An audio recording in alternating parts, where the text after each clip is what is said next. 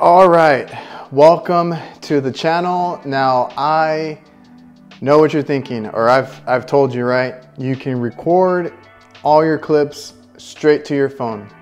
Now, once you get them on your phone, what are you gonna do with them? How are you gonna edit them? How are you gonna get them up to YouTube? Now you could just directly upload clips to YouTube from your phone. That's possible. It's actually saved me this past week when I didn't have any uh, electricity. So we didn't have power here or no internet and I could not upload from my computer, which I normally do. I actually edited on my phone and iPad and then I had it on the phone and I directly uploaded it over 5G from the phone. So like, yeah, you can, that's probably one of the tips is you can upload directly from your phone. And that came in clutch when I didn't have Wi-Fi. I was able to, since I edit everything on my phone and iPad, I used my phone to upload that to my channel. So that saved me last week. So that's you know one way to do it. Editing apps are actually really good if you know which ones to get. Now I will say a lot of them started doing subscriptions and I hate that. So I'm not gonna mention any of the ones that do subscriptions. I might mention a couple, but I'm not gonna tell you to get those. The ones I'm gonna get are one-time fees or you can use the free features. So these are gonna be my top three editing apps that you can use on your phone or tablet. And from there, you know, export it and then upload it if you need to. That's how I started. All right, and just to, to show you really quick on my phone, I do use the editing app here as well. Uh, Vlogstar is my uh, choice of editor. Super simple. You do have all the intro makers, thumbnail makers.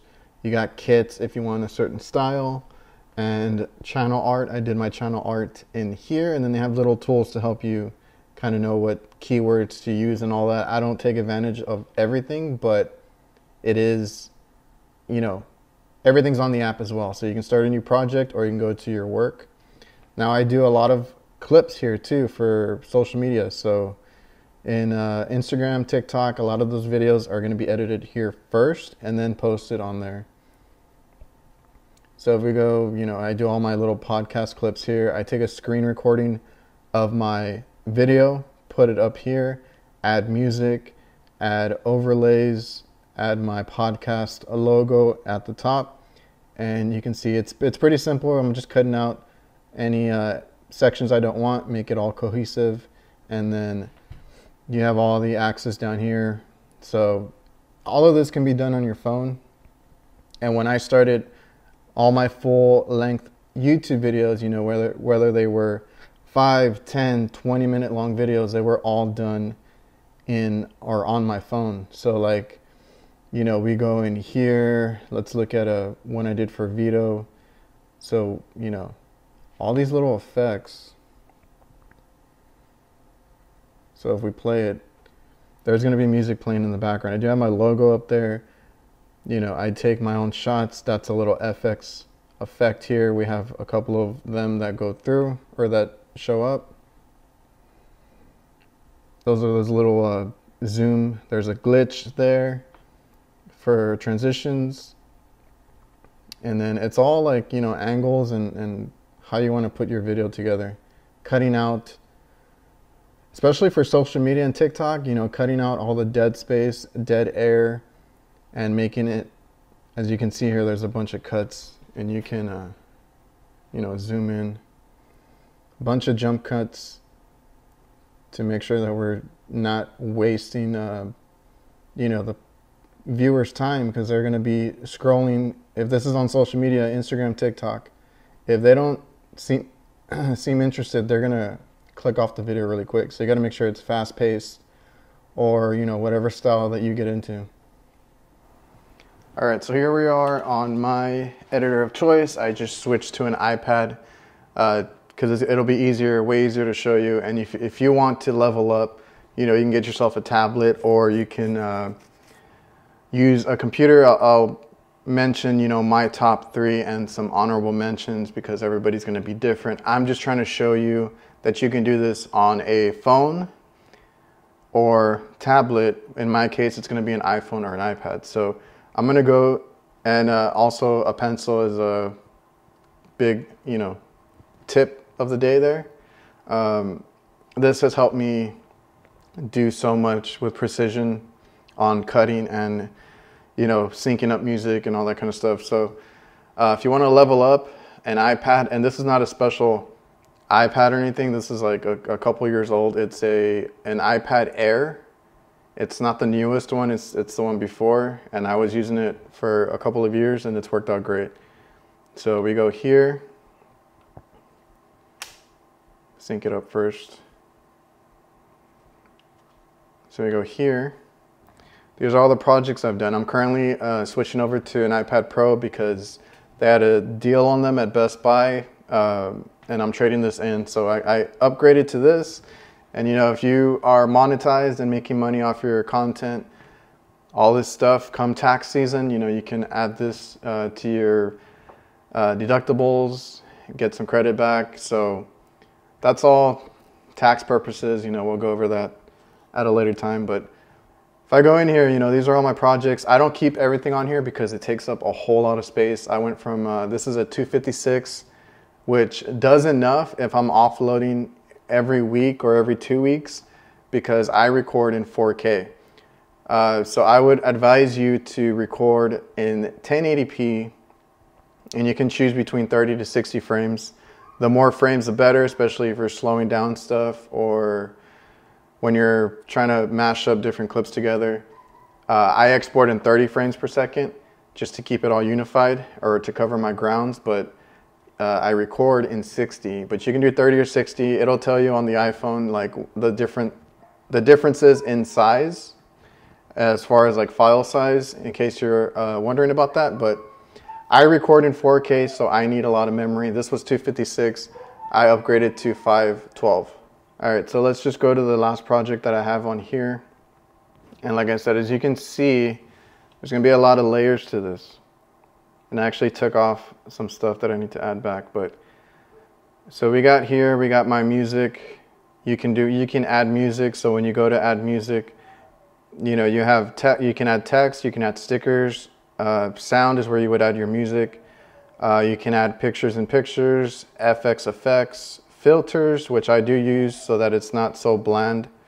If you want a, a representation of that, let's go to filter. So if I you can kind of see that it's it's pretty colorful. I'm gonna try and leave this unedited on this video and then I'm, that way you can see the difference in the colors. So that's pretty blue. Everything's a little saturated and contrasty. Now if I touch this, it shows what it was before and after. So I just, I like to add color to it, not too much. And then I like to darken like my blacks and my dark colors so that there's contrast.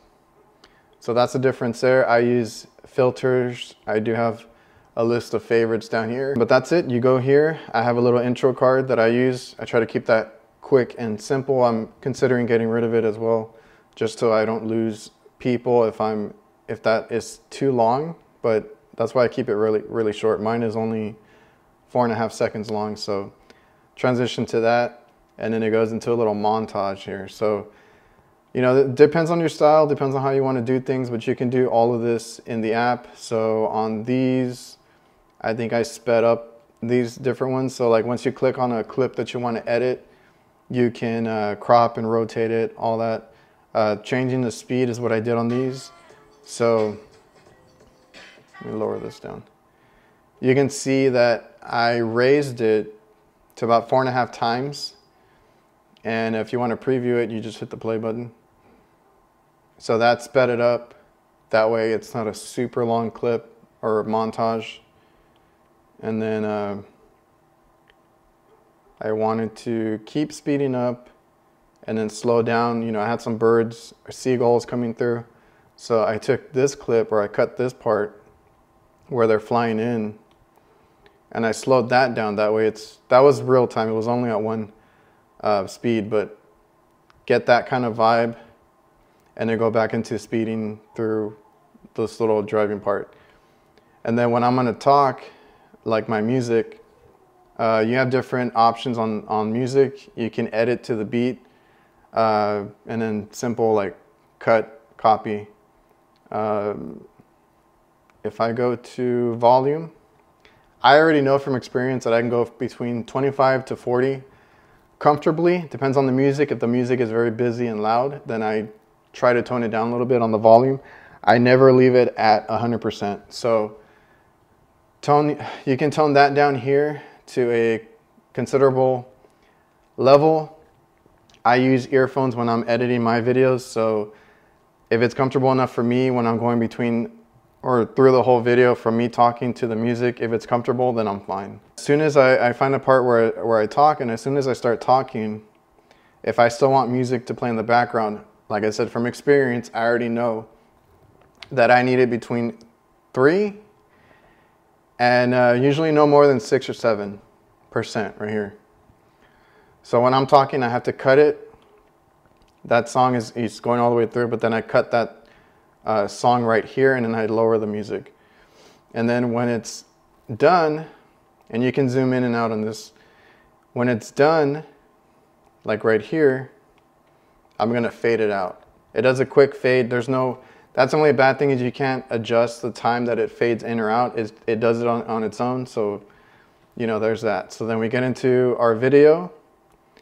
I have another montage here with some more music. And then you can also do, because I work in restaurants, this was a, another company and I, I didn't want to show who they were or where they're from, their number, anything like that just because this is a public video that goes up to YouTube. So you can also blur out certain sections. Um, I don't think you can keyframe this, but like it was stationary, so I just blurred out that section there. Uh, they also have stickers here, so you can go into the uh, sticker section and you're gonna have tons of stickers here. So it's normally updated, but for the most part, what you see is what you get, uh, but there's a whole bunch of categories. So you're gonna have stickers for days. You're gonna, you can favorite, you know, the ones you want to. I haven't done that yet. I usually just go to the subscribe section. And this is where they're gonna have like thumbs up. Let's see, thumbs up, subscribe. These neon ones are pretty cool. Uh, you know, all these animated ones. And most of them are gonna be animated. And vlogging, you know, there's phone icons, recording, vlog, check marks. Uh, those are all the stickers you need arrows, there's stuff that points, you know, all that. So you have a, a ton of options there to put stuff on the screen. This is also keyframed to follow that piece of equipment. So if I go through it, you know, we're following it, we're zooming in. And uh, you can do that with this product, I mean this uh, editor as well. Of course, you have your transi transitions. I mostly use, I keep it simple. I mostly use fades. If I need to do a quick swipe, I'll do that too. So if we go here, I'm pretty sure, yeah, it's just a fade there. Fade into the next one, you know, stuff like that. I mostly use the fades for uh, little time jumps. So if I'm doing something and then I jump out to the van or to a different location, I, will use a fade, or if time has passed, I'll use a fade. Try not to overdo the transitions. There's times where that can get a little uh, distracting. So we don't try to use those too much. And here's text. I, I, am pretty simple on the text. I can, I do get cr creative with it when I can because you can do uh, transitions and different styles. But this one was just a simple pop-up. And then in this text, you know, you find a font that you like. You have a ton of fonts to go through, right? Find one that you like. I, I, I generally use the same like two or three fonts. Then you have all this customization in this little bar right here. So uh, they have, you know, some preset ones if you just want to pick one from here. But you pick the font, you pick the color. They do have textured fonts too, so you can pick some that are multicolored. I use that one a lot too, like the little orange and yellow. Um, they have rainbow, they have different ones. I try to keep it simple and I make sure that it's legible from a phone or a TV because people watch it on different devices. You can also use these that fill in the background. And then uh, you can curve it if you need to. These are text bubbles mostly, little uh, stuff that you can have pop out that go around it. This is your line alignment. So if you need it to be on the right, on the left. I mostly do it in the middle. Probably have to take off the curve to show you everything else. So then uh, you can expand the text. And then this would be, uh, line would be like if, if you have multiple lines, if you want to space them out up and down. So there's all that. There's animations, like on this one I didn't use them, but you can fade it in. You can make, make it come out in different directions, zoom in, zoom out. Whatever, uh, if you need a dramatic effect, you know, you can do those. And then there's one overall. I mainly use this when I'm watermarking my stuff. I don't really like this for text because I want people to read the text that's on the screen, but you can have it doing all sorts of crazy things. Like that right there looks like a neon sign, right? So you can do a, maybe a subscribe button just from the text and make it fancy and, and customize it to what you want. So we'll get out of there.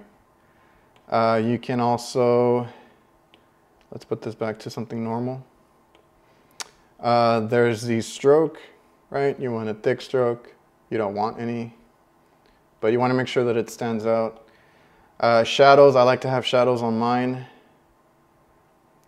So you can uh, kind of play with it.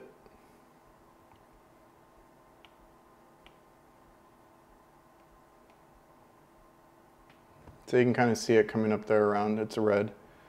And then, or let's make it blue change what direction it's going in and then how, how strong it is. So you can have a little drop shadow if you want. You can have the highlight in the back, fills in the space. You can also uh, 3D affect it, which basically turns it left or right, like if you're seeing it from the side. Same thing up and down. A lot of cool things you can do with this. Oh, we also have these uh, titles that look kind of cool. So whenever I do something where I'm coming back, I usually use this little animation right here. And there's a lot of them that I use. So if we play it, comes out as a like a computer text. They have a whole bunch of stuff here. So these are the ones that I have in my favorites I think you guys have seen this one. If you're coming from my main channel, like, comment, subscribe. That's just, you know, plug and play. You have some that you can edit. This one has the uh, subscribe button being clicked and you can put your picture and your name in there. You know, you have all these to choose from. And then these are just the ones that I favorited. So like popular, you can, you can see how many titles and text you can have um, for social media as well. If you just want, if you have one or two, you can have uh, that come out on the screen, you know, so that they know to follow you, like on Facebook, Instagram, whatever it is. Fire text, different text that comes out. They have some for shopping. And these are just the recommended ones. You have all this menu up here to go and look through. So if I click on any one of them, there's going to be a whole bunch within that. So there's for quotes, lower thirds, the social media section, like you can have your name uh, and your logo come out. Uh, there's a YouTube section, so if you want to have a subscribe button or something like that pop up. Uh, there's also a shopping one. If you guys are selling anything in your uh, videos, you know, they have all this stuff in here. So again, I have here an outro going out with music come in, I tell people to like and subscribe, I have that title that comes up. Then I just have an outro. Now these you can get in the in the app itself. This this little background, I didn't make it. It came in the app. All I did was add the text that says, thanks for watching and check out these other videos. And when you put this on your YouTube or at the end of your video and it goes up to YouTube, in YouTube you can add um, for YouTube to put in automatically. You just have to pick the time, whatever timestamp that is. And then uh, it'll fill in like what they should watch next, which is usually one of your videos. And then this one would be your logo, which is your channel, to click it and subscribe. So that, that gets filled in by YouTube. You just have to have the, the template for it or the outline for it. And then once you do it once, and you know it's like on mine, it's like the last nine seconds of it. Uh, once you do it once in YouTube, it'll let you just, every time you upload a video, you can reuse your last setting. So like if you have this at the end of every video, then it's always gonna populate in YouTube. You just have to make sure you add it um, and it'll just automatically add it to the one like mine is nine, every nine seconds of the last video. So it'll automatically do all that. And I forgot to mention when you're adding clips, it's this plus button right here. So you can add clips from your photo library, which is going to be this right here, but you can also add from an external device. So I use a uh, external hard drive with a lot of my stuff because I can't I can't leave everything here because it'll fill up the memory really quick. So I always, eh, when I'm done editing, I export everything to an external drive and you can actually pull up uh, hard drives here and you can actually, let's say you just want to upload everything to the external hard drive first and then edit them later. You can uh, pull the, you know, it'll show up here and you can pull it off without having to have it on your device. It'll just pull it straight off because once it uploads it here, it actually saves it or like a copy of it here. And that's why these uh, are gonna take up memory as well. You're kind of using double the size. So like a lot of these are gonna be like that one's 11 gigs, seven gigs. Those are short videos, six gigs, nine gigs. Because it's, it's copying over and then they're gonna, it's storing those files in the app locally. So like when I'm done with something, I do have to go in and uh, like delete it to get that memory back. But you can pull from your photo library. You can also pull from external hard drives, which I really like that this one does. And then also, if you're going to add music, something that a, like CapCut doesn't even do this. If you're going to add uh, music here, they have their own library. You have sound effects as well. I use a lot of their sound effects. You can go in here and get little uh, dings and claps you know, different things. They have sound effects in here too. Uh, they do have music for vlogs and different things. You can voice over if you need to, and then you can go to My Music. Now here, I think if you save stuff, it goes here. Like if you go to My Music, this is all the stuff that you saved. So these are all the uh, sound effects I saved. I don't use any other music currently. And I import a lot of my music. So I'll go in here and you know, these are music that I've used from different uh, free, and now I'm using a paid one, uh, Epidemic Sounds, but you can go in here and get music and uh, add it with the plus button. And then if you need to, if you're downloading music, because a lot of these websites that you use to get music, you have to download it to your device. It'll be in your Files app if you're using iOS. All you do is go into Import, and you're gonna you can import from a drive if you have music on a drive. If you download it on a computer instead you can also go to files and then pull off like here are all my music downloads. Pull it off from files and then import that here. And then you have it you'll have it here in the list every time you go and make a video. And that's an easy way to add music. CapCut doesn't let you do this. So this this app really does a lot and I really recommend this one for uh, social media. This is where all the memes, you know, that I get from are. They have a bunch of they have a meme section basically. Uh, so if you do social media, this is a good one for that too. But it's a pretty good basic software. The only thing is this is one of those that has a subscription. So a lot of the stuff is free, but they do have a pro version. So in the app itself, you can start a new project and it's like anything. You can uh, import anything from your photo library and get started there quickly. Template is a section that I'm talking about. So if you go to template here at the bottom and then you type in, let's type in Pedro Pascal. He's a popular meme right now. You have all of these memes that you can use and they're templates. So you go in here and it's gonna show you what it looks like. And basically you're just using whatever I guess the green screen is whatever's in the background, you're to upload your own photo or video. So a lot of these are ones that I've used and you can do that. You export it, you know, straight to TikTok, Instagram, whatever, you, whatever you're using. Uh, the only other good thing that this one has, like I have a clip of me you know, driving out of a parking lot. If I want to go in here, one of the big features I use because I work outside a lot is this one called reduce noise. You, you do that and you turn it on. Takes out all that engine noise that was in the, the car. So you can kind of hear the difference there. That's with it off. That's with it on. And that's a free feature. You can use that as, as much as you want. I use it a lot when I'm outdoors and there's a lot of wind noise or like this, there's engine noise. That's a good, good one to use uh, CapCut for. Also, let's try another feature that I like to use, which is called cutout. So we're gonna remove the background here. Uh, and you can see it removes everything in the back except you. So let's see.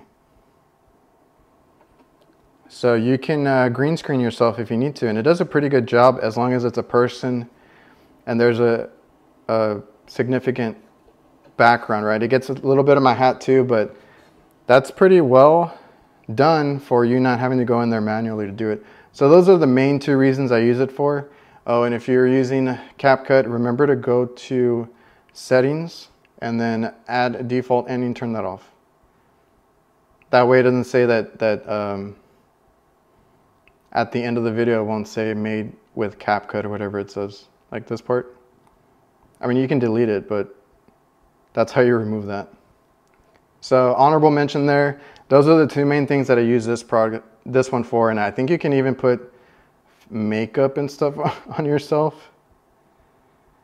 Uh, where's that feature? Retouch.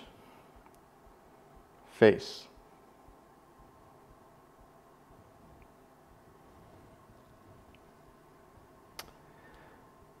Yeah, you can like smooth your face out. Yeah, if you need to, oh, you can whiten your teeth. What the hell? Okay, yeah, this, uh, those are free. The pro one is to remove smile lines, dark circles, and then something about evening out.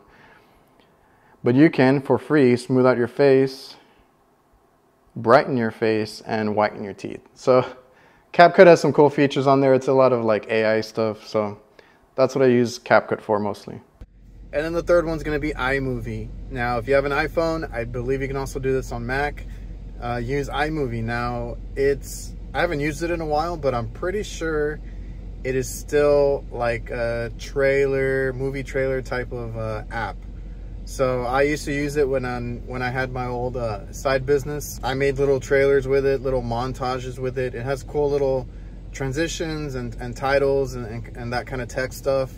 But I mean, that's really where it stops. I don't know if you can do, you, you definitely can't do everything that Vlogstar does. And Vlogstar helps you do your thumbnails and, and all your channel art and, and different things. So iMovie is another good one if you just want a super simple one that's also free. It's free. You can get it on your iPhone. I think you can get it on your Mac uh, computers as well. iPad, whatever you have. And then, uh, you know, just clip some things up put it together, and then upload a video. And if you're a little more tech savvy, you can use DaVinci Resolve. So this one is going to be more like a full editing app that you would find on your desktop. So this one has, you know, all of this. I was messing with it a while ago, but I really have to dive into it and learn this stuff. But if you know how to like color grade manually, and you're used to all this setup, uh, you can do DaVinci Resolve. That one, I'm, I'm going to try and figure it out a little bit and maybe use it for, color grading because I've had issues with color grading, but DaVinci Resolve is another good one and it's a free one as well. All right, guys, so I hope you guys enjoyed the video. Hopefully it was helpful. Drop a like, help the channel out.